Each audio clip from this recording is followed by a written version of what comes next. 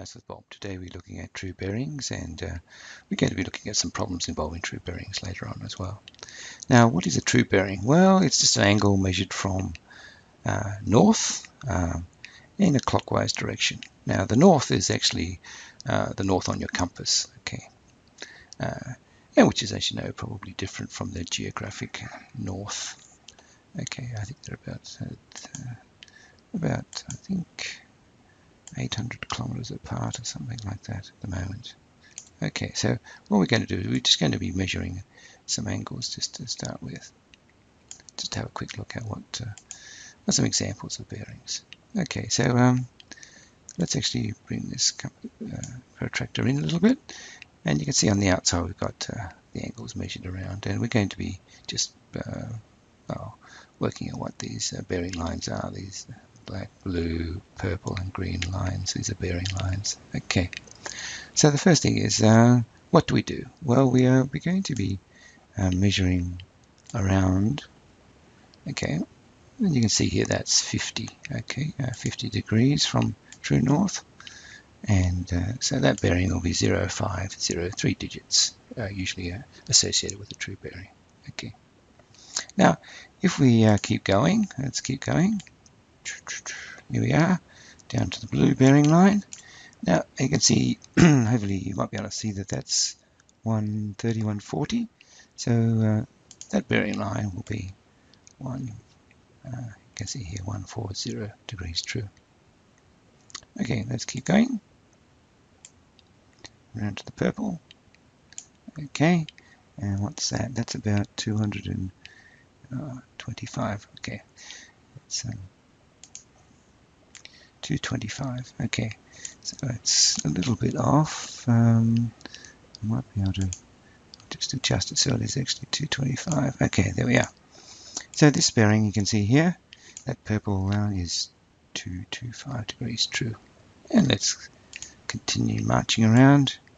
Here we go to the green bearing line. And you can see here that's about 305 okay that's on the 305 degrees bearing line. Now, okay, so these um, measured, these angles you can see here are measured in a clockwise direction from uh, true north, okay, which will be the compass north. Okay, uh, let's actually go into GeoGebra now and have a quick look at some problems. Well, okay, here we have uh, GeoGebra. We've got uh, some points A. I'll just move A around here. B, uh, over here, and C over here. Okay, all right. Now, we obviously uh, in problems involving uh, uh, true bearings, we normally will be sailing from say port A to port B, and then uh, from B to C, and then back, back, maybe back to C, back to A, or we might need to find the distances. Obviously, we're going to have to use a bit of trigonometry. Uh, okay, so basically, let's actually have a quick look. Okay, so obviously we've got the north lines are all parallel. That's one of the great things about the north lines. Now, so, uh, okay, so this 52, just uh, we'll have a look at this later on, but that 52 point, or 56.2 there will be 56.2 here. These will be alternate angles, okay. Okay, so, okay, this one here, this is the, okay, the bearing of B, okay, from A, you can see here is 50 6.2 degrees. Okay, this angle coming around here. This is the bearing of B, right, from A. Right.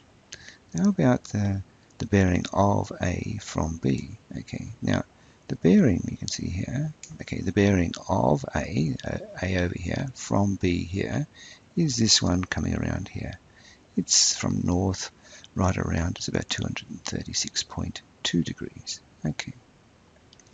Let's go over here now to B. Okay, what is the bearing of C from B? Now, of C from B, you can see here it's a little uh, purple angle in there, 135.84. But that is the bearing of C, down here, C, from B. So it's at uh, this one in, in, here. Okay, so we've got some uh, angles occurring here. Okay, so that is the bearing of C from B, uh, the one there. Okay, now it's okay. How about the bearing of B from C? Well, okay, you can see it over here. Okay, it's about 315.84 degrees. That that is the bearing of B from C. Okay, so it's along that line there, going that way. But we have to go around, right around here, about 315.84 degrees. Okay, okay. Finally, what about uh, the bearing of A from C? Now, bearing of A from C is uh, I don't know whether you can see it's that little that purple one in there. It's 271.18 degrees true. This one over here. So this one here. So it's from north right around to that dot blue line there, which is traveling back to A. Okay, and how about the bearing of C from A? Okay, you can see here it's uh, basically the bearing of C over here from the point A here. So it's coming on that purple line there. Okay, um, got some segments coming occurring in GeoGebra here, but basically it's 91.18. Obviously now we can change this obviously all around, and as you can see, all these all these angles will be changing. And uh, but it's just a, a, matter of that. Um, if we um, let's try and put it back over here roughly, okay, where things are. Okay, but you can see here that the bearing is obviously relative to where you are. Okay. Um, and let's put these a little bit, try and line them up a little bit. But it's very important to try and work out what angles, and you'll see later on we've got a lot of alternate angles because all the norths are parallel, so we have a lot of uh, alternate angles occurring. Okay, uh, just uh, this one 62 would be 62 in here.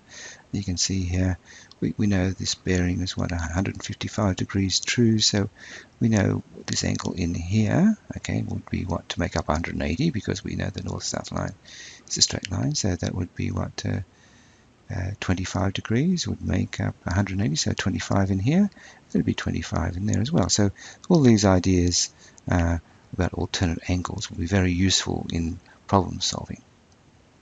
Okay, let's actually have a look at some problems now. Well, we're going to now apply some of the ideas of uh, true bearings to a true bearing problem. This is exercise one, and let's quickly just go through it. Uh, there's some obviously important information.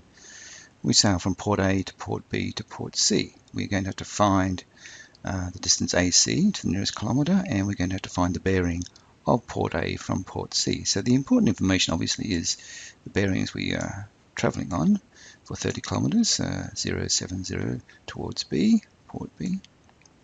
And then when we get to port B, we head off at another, obviously, uh, slightly different bearing, um, back in the other direction, actually 210 degrees true uh, for 40 kilometers to port C.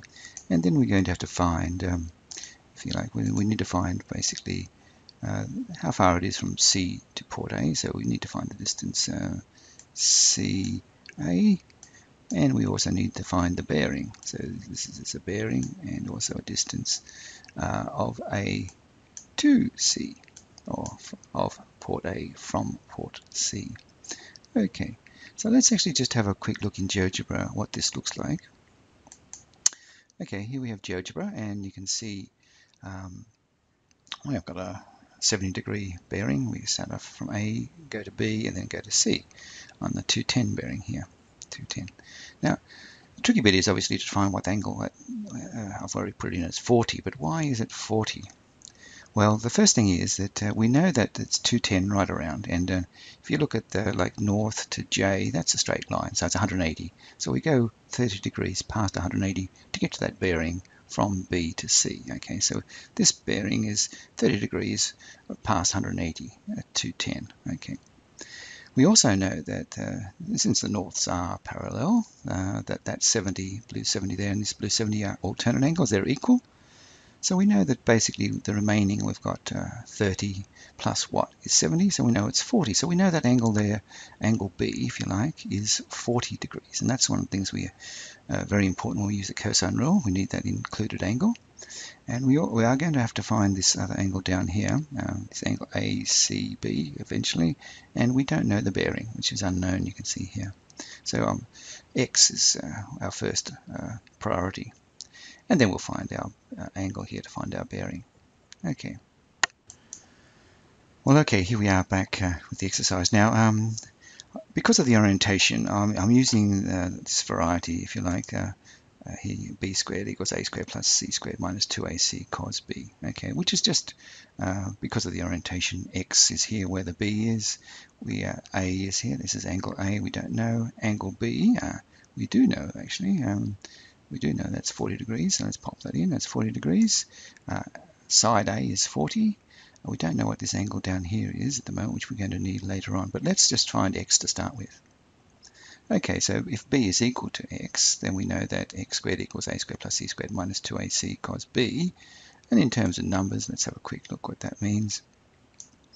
Well, x squared, this one here squared is equal to this one squared plus that one squared minus 2 times this one times that one times the cosine of the included angle, 40. Okay, we work all this out. We get x squared, it's about 661 point something. And to the nearest kilometre, okay, x is about 26 kilometers. Okay, so we now found x. Okay, so we're well on the way. Well, okay, we're going to now try and find that angle C. You can see here I've actually marked it with a theta here, down here. Okay, so how do we find that angle? Well, since we've got all the three sides, we can actually use the cosine rule again if we wanted to. Uh, I'm going to use the sine rule, okay, for a bit of a change. Sine B on B equals sine C on C. Now, this is for the angle, so you might remember you can do it, uh, do it the other way around as well. So, uh, so what are we going to have? Well, uh, we have like sine 40. So we've got sine B, angle B is 40, sine 40 on its opposite side, which is 26, is equal to sine C, which is theta. So sine theta on 30. And then we uh, just cross multiply uh, 26 sine theta equals 30 sine 40 then divide by 26 and end up eventually getting that to the nearest degree that this angle here is actually 48 degrees okay well okay what have we done well we found this angle down here is uh, at C is actually 48 degrees uh, we know that it's 26 over here uh, we know 30 uh, and 40 but we want to find the bearing okay um, of a which is over here, A from C down here. Now, how do we do that? Well, basically we have to, I'll just put some true norths in. We just, again, use this idea of, um, if you like, as an alternate angles. Now, you might remember this little one in here was 30 degrees. I don't know whether you remember that. But that was 30 and 40 made a, uh, you know, the, the 70, you know, this angle here, 70, which is alternate to the angle here from true north around there. Okay, so we know that's 30, so we know that these true north lines are parallel, so we also know this is 30 in here. But we know the total angle at C is actually 48, so really we have 18 degrees. Oh, it looks a bit bigger than 18, but this, this remaining part of the angle is actually 18. And you might remember the bearing is actually from north right around to this line here, AC. And uh, so that's basically 360 minus 18. So the bearing of A from C, so the bearing line is actually 340 degree, 42 degrees true. Okay, well, thank you for watching and bye for now.